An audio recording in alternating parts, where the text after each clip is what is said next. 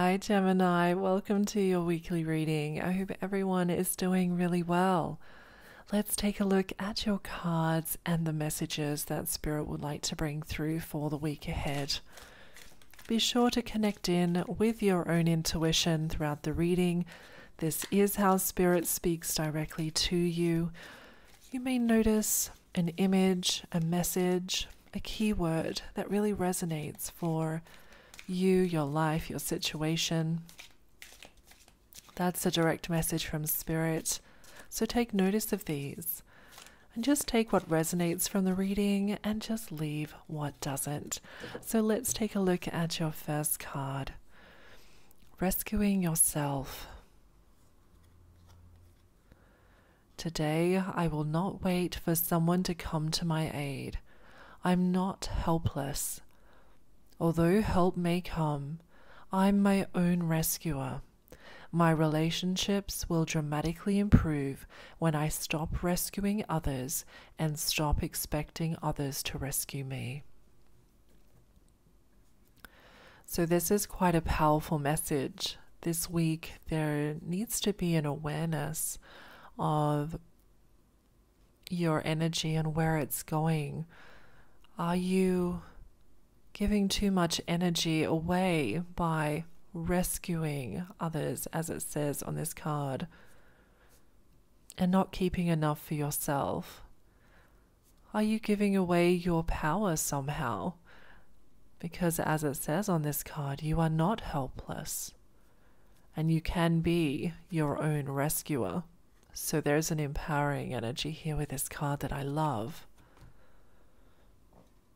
don't need to rely on someone or others in some respect. There's a there's an independent energy here, an empowering energy, Gemini. And your next card from this deck is about taking time for meditation and prayer. And it says, Today I will take a moment for meditation and prayer. I know that I'm a creation of God and He loves me. God, through meditation and prayer, I have faith that I will hear you when you talk to me and you will listen when I talk to you. So there's also an aspect of faith that's being mentioned here with this card. Prayer and meditation will be extremely powerful for you your prayers, your intentions, your heart's desire, your wish, it will be heard. It will be heard. And at some stage, when the timing is right, that wish will be granted. Your prayer will be answered. So take time for meditation and prayer or something that is calming to the mind so you can center and you can ground. Let's take a look at this deck, Gemini. Guidance for Gemini, please, Spirit. Guidance for Gemini.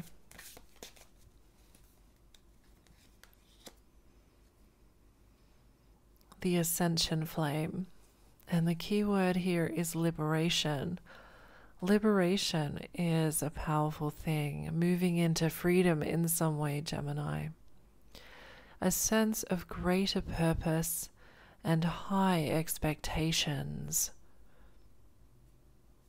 You do not need to lower your expectations about something this week. You can have and should, and rightly so, have high expectations of someone, of something you may in fact have a sense of a greater purpose. And this, in fact, will feel liberating. Beautiful. Let's take a look at this card. Archangel Michael, Heart of a Warrior, Divine Protection, Synchronicity. Expect some synchronicities to happen this week. Expect them to. Because with this card showing up, they will come into your life. You have divine protection in your day to day affairs, you have divine protection.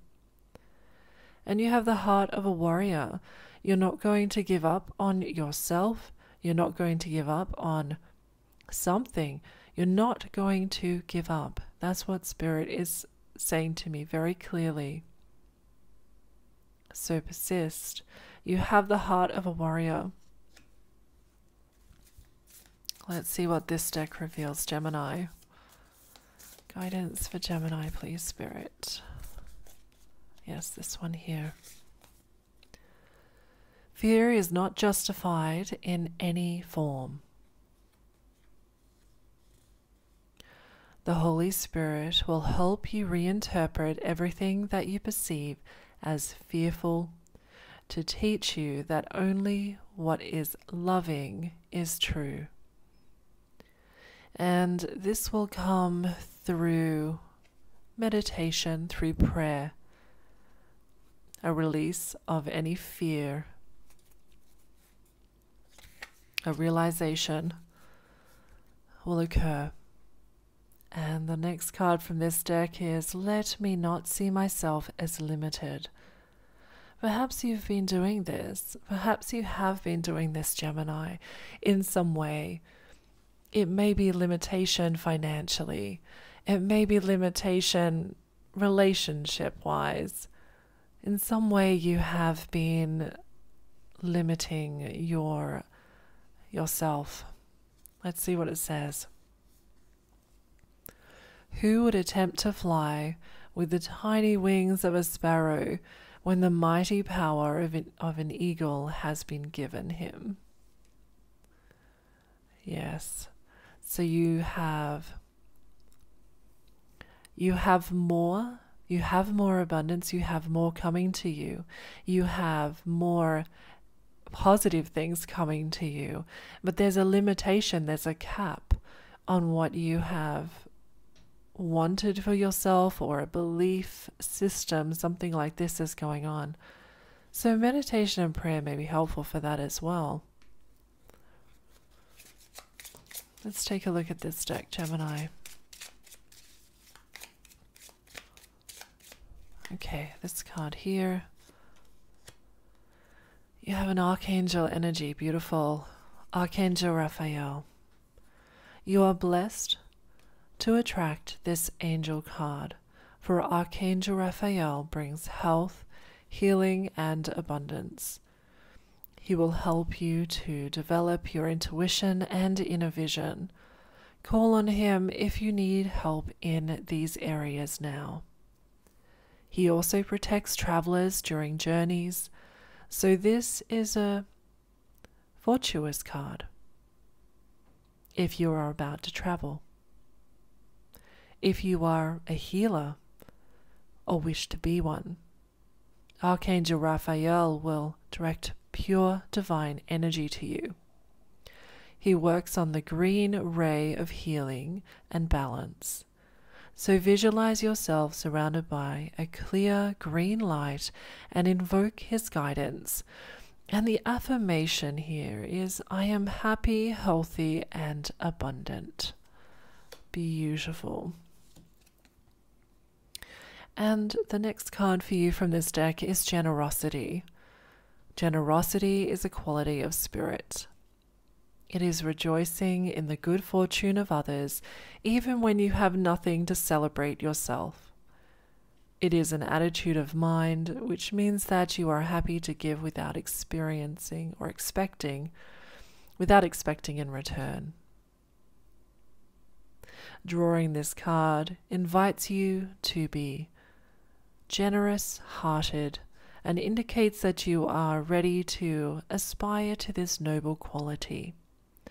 Angel wisdom suggests that you give of yourself freely, openly, and lovingly. The rewards for generosity are great, for all that you give from an open heart is returned to you multiplied, and this is so true. And the affirmation is, I am generous hearted. Beautiful. Absolutely beautiful. Let's take a look now at this deck, Gemini. Guidance for Gemini, please, Spirit. Okay, this card here to begin with, and it's the Queen of Pentacles. A very nurturing energy. And it's specifically relating to your finances, your material manifest life. It might be linked into your work life, perhaps. But there's a caring, there's a nurturing, there's a growth that you're wanting, there's a reflection upon this area of life this week. And the Five of Cups is your next card. So the Five of Cups means there has been a loss or a disappointment, or perhaps you've come close to this feeling recently. It may, in fact, show up over the next week, but it's a temporary energy, so don't fret.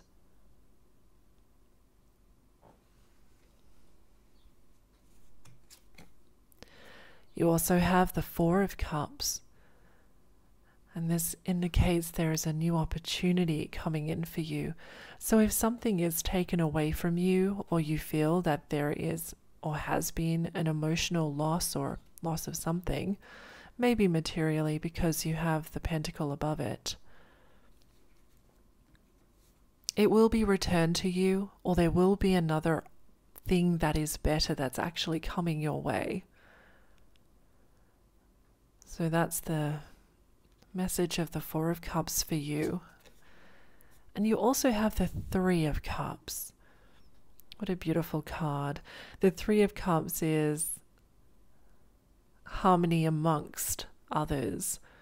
So there is a desire, a want, a need for harmony and companionship of the heart. And I'm seeing with the Three of Cups, those connections will be made. Beautiful. And you have the Sun. You have two beautiful cards here. The Sun is about vibrancy, things being out in the open, no more hidden things, happiness, the beautiful sunflowers, being in your joy, and releasing yourself from any fear or anything that's holding you back. So there's freedom here also. So you have a beautiful set of cards here coming through for you, Gemini. You have an amazing week coming up ahead for you, from what I can see. And this energy might be playing out over a longer period of time for you. That is also possible. So I hope this reading has been helpful for you. It's been a pleasure to read for you. Take care, Gemini, and I'll talk to you again soon. Bye for now.